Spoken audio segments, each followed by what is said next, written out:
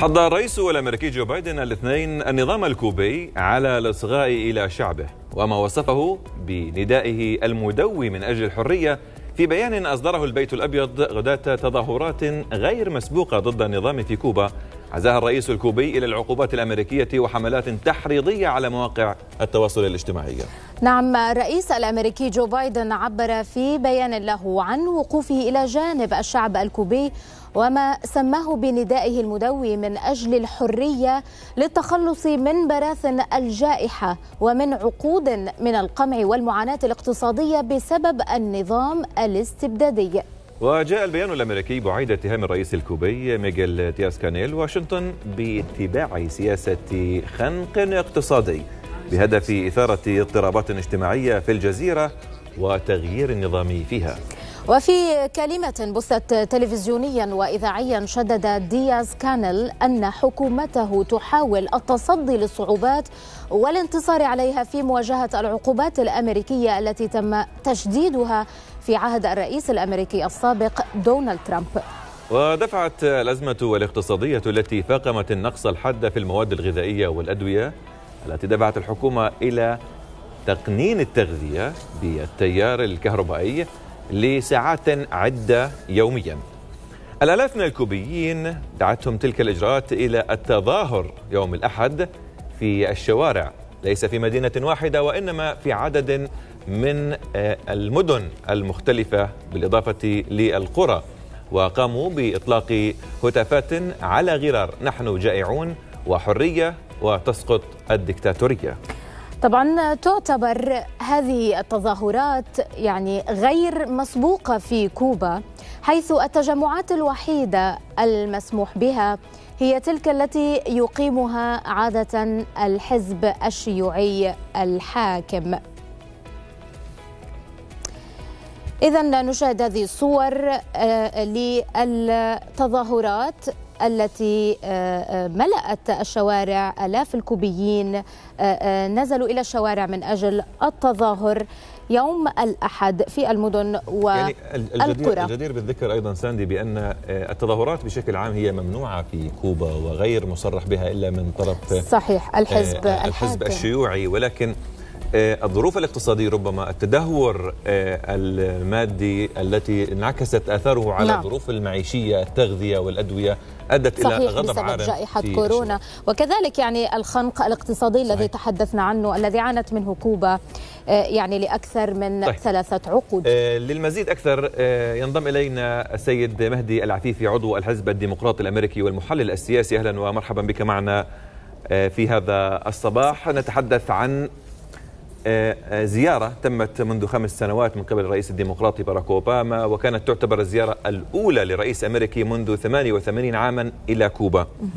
اليوم مع كل هذه التغيرات برأيك هل تسعى إدارة بايدن إلى تغيير سياسة الانفتاح التي كان قد دشنها الرئيس أوباما وقام بإلغائها ترامب؟ تحية إليكم وإلى أهل دبي الأعزاء.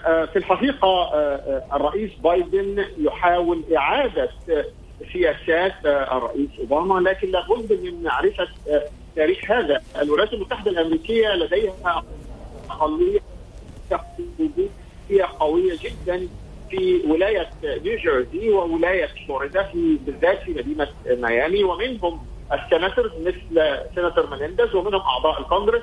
ومنهم الفاعلين الكوبيين في الولايات المتحدة الأمريكية هم الوحيدون الذين يحصلون على الإقامة في الولايات المتحدة الأمريكية بمجرد الوصول إلى أرض الولايات المتحدة. الإدارة الأمريكية الجديدة تحاول إعادة العلاقات الطبيعية التي كانت قد بدأت في التكون أثناء كان الرئيس أوباما ولكن ما حدث في فترة ترامب كان بضغط الكوبيين أنفسهم من فلوريدا والتي كانت عاملا مساعدا لفوز الرئيس الأمريكي. أعتقد أن الإدارة الأمريكية ستستمر في محاولتها محاولتها لدعم الكوبيين لأن هناك تصور داخل الكونغرس الأمريكي أن النظام الكوري والذي يعتقد أنه تابع إلى روسيا يؤثر ليس فقط على الولايات المتحدة الأمريكية وعلى دول أمريكا الجنوبية ولكن على الشعب بصوره نعم سيد مهدي اليوم الرئيس الكوبي ميغيل دياز كانل يتهم واشنطن باتباع سياسة خنق اقتصادي ربما لإثارة اضطرابات اجتماعية. يعني سيد مهدي ألا ترى ما يقوله الرئيس الكوبي ينبني اليوم على حجج صحيحة إذا ما نظرنا إلى الوضع الاقتصادي الكوبي وخصوصا مع تشديد العقوبات الأمريكية عليها كيف تقرأ ذلك؟ آه نحن لا يمكن القول بأن هناك آه يعني علاقات وطيدة بين كوبا والولايات المتحدة الأمريكية، هناك ضغوط آه من الولايات المتحدة الأمريكية وكما ذكرت تأتي من خلال الكوبيين أو الأمريكيين من أصول كوبية على الضغط على النظام الكوبي. كوبا تتبع نظام شيوعي إلى الآن يضغط على الشعب مع وجود ثروات كبيرة في في كوبا سواء كانت ثروات طبيعية أو غيرها.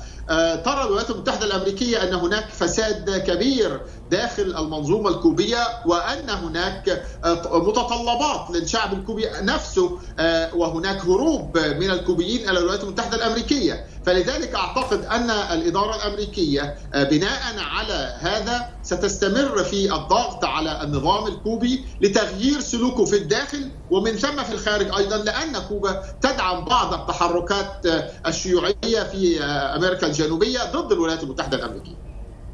طيب التظاهر بالنسبة للسكان الكوبيين للمواطنين الكوبيين هو ممنوع بحسب قانون الدولة إلا لأعضاء الحزب الشيوعي لكن اليوم نشاهد احتجاجات كبيرة ليس من مدينة أو اثنتين هناك عشرات المدن. بالإضافة للقرى خرجوا إلى الشوارع. كيف برأيك تنعكس صورة هذا التمرد إن صح التعبير على القوانين والإصرار للخروج إلى الشارع وإسماع الكلمة؟ أعتقد أن الكوبيين سئموا من كثر الضغوط التي يعانوا منها. كوبا دولة يعني لها ثروات كثيرة ولكن الشعب الكوبي والمواطن الكوبي يعاني معاناة كبيرة سواء في الخدمات أو في يعني مسائل التعليم أو الصحة. فلذلك أعتقد أن هذه ردة الفعل مع وجود هذه القوانين التي تمنع التعبير عن الرأي يعني أن سائم الشعب إلى مرحلة أنه على استعداد أن يضحي بنفسه في سبيل أن يسمع صوته.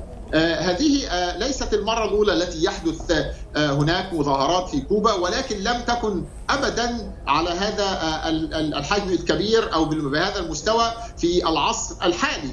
ما يحدث الآن يدل على أن وصلت الأمور إلى مرحلة لا يمكن السكوت عليها ولذلك رأينا التدخل القوي من الولايات المتحدة الأمريكية سواء كان كلمة الرئيس بايدن أو خطاب الرئيس بايدن أو الخارجية الأمريكية أو حتى البنتاغون كان يعني يعني بهذه المسألة.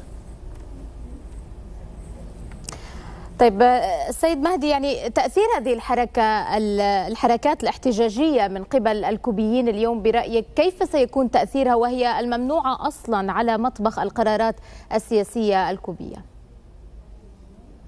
أعتقد أن الضغط الكوبي من الشعب على الحكومة الكوبية قد يؤدي إلى شيء من اثنين أما أن يكون هناك قمع كما حدث من قبل أو أن يكون هناك تعاون أو محاولة لإسكات تلك الأصوات.